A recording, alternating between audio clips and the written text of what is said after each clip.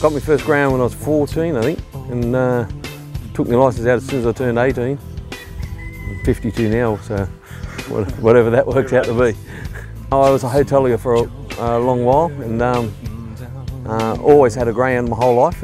And um, uh, when I sold the hotel, I got full time into the dogs. I went to school with the late John Sparks' son, and uh, he was a greyhound educator, and uh, I got involved through them, and he taught me just about everything I knew. Just every day. Wash it away. I've got uh, 20 in the race kennels and 10 in the pre-trainers, uh, 12 in the pre-trainers, and um, a lot of pups coming through at the moment. I've probably got about eight actively racing at the moment, but that should be doubled at least by within the next six weeks. I've got a dog in there called Sleek Fancy. He's a very fast dog, but I'm just having a few injury problems with him at the moment. But if I can get him right, I've got no doubt he'll go on to bigger, better things. He's, well, he's, he raced, it. he started his career at Dapto and then he injured himself and he's been an injury, he's had a few injuries and it's just held me up. Racing at Gosford last week, he got beat, but pulled up sore again, so you know, we just have to work from there. If I can get him right here, I think he'll be a good dog. Probably too Tuiaki overall.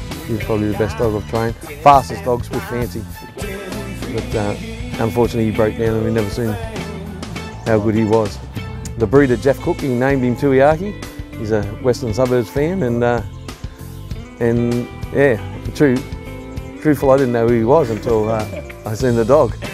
yeah, we done a photo shoot with the dog and the and the player, and uh, not long after that, we must have cursed him because he broke his yeah, Yeah, never played never played again.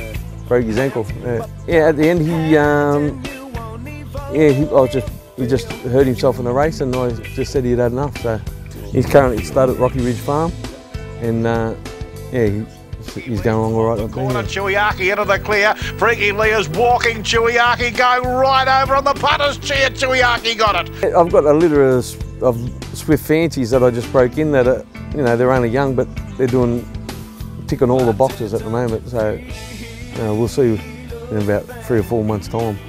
when we put the acid on them. Still got the fire in the belly. Some days it tests me when things aren't going bad and dogs are breaking down. I've got injuries, but uh, you know, like that's part of the game. And you know, every day I've still got the passion. Yeah. No, well, we're going to go. To, I'm going to go back to Gosford uh, in a few weeks and um, have a stint at the Cup with a couple of my dogs, and yeah, that's about it for the year then. Yeah, it's pretty much. And when are you back for, for next year? Oh, that, we're not going to stop. Oh, we yeah, won't stop. stop. January one. no yeah. off-season? No off season. Like, don't you